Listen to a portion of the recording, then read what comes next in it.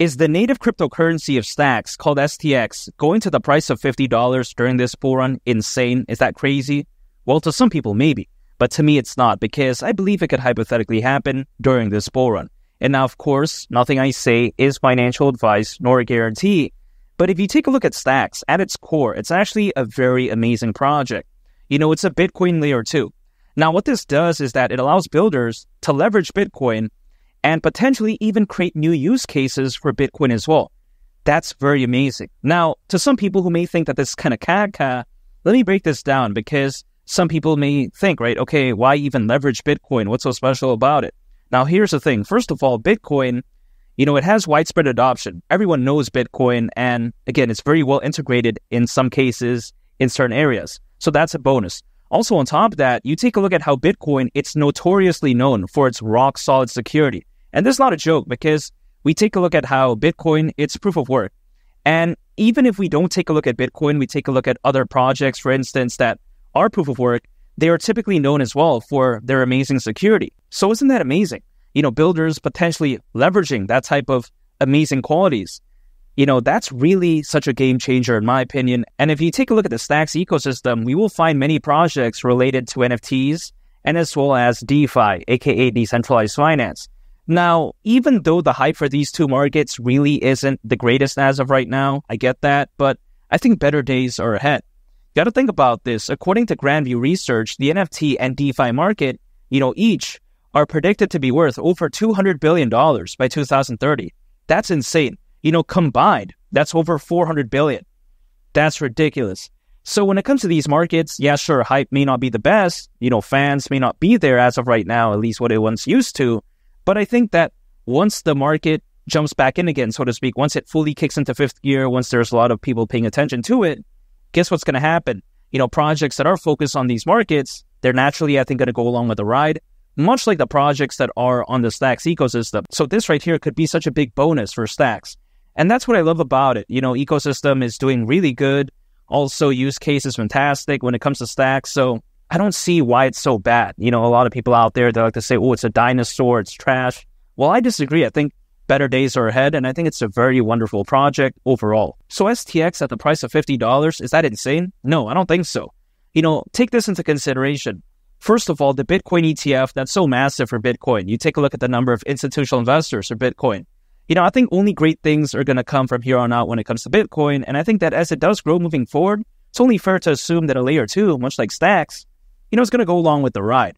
And even if we take a look at this just from a, you know, price point stand of view, let's say from a comparing it to other projects, we take a look at how if STX were to go to the price of $50, considering its current circulating supply, at that point, market cap would be around $74 billion. Not insane. We take a look at how Doge at one point reached over 80 billion. I mean, come on. We take a look at also at one point BNB reached over 100 billion dollars.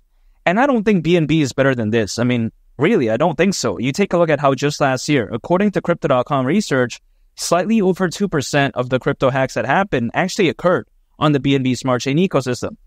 So I don't really like that. Again, Stacks, known for its amazing fundamentals, and Bitcoin is known for its fantastic security. Again, Stacks, a Bitcoin layer 2. Come on, I think that pretty much speaks for itself. If BNB can reach over 100 billion, I think STX could very well, at least hypothetically, go to around 74 billion. That's just the way I view it. Now, also take this into consideration. As of right now, there's over 600 million crypto owners, according to Crypto.com research. That's more than ever before in history. You know, this is kind of insane because if we take a look back in 2021 during the peak of that bull run, there was roughly only around 300 million crypto owners. So now we have over 600 million. This is practically double that amount. So if everyone thought that that year the bull run was impressive, imagine this time around. You know, all the FOMO, all the buying pressure, all the buying volume. I mean, really, it could be so impressive. And also on top of that, as Bitcoin goes to the price of 100,000, 150,000, you know, altcoins are going to do so well, in my opinion, much like STX hypothetically. And at that point, you know, $50, I don't see why not.